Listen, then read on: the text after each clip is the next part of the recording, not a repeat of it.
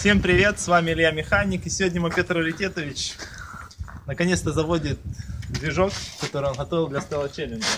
Мы его уже тут чуть-чуть позаводили, пообкатали, поэтому сейчас я попробую его с кикстартера пустить.